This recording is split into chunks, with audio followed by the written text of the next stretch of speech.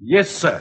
Yo sé la importancia del inglés. Apréndalo en 20 a 40 días. No pierda el tiempo. Aprendizaje holístico, un método ameno y definitivo. Aprendizaje holístico. Excellent.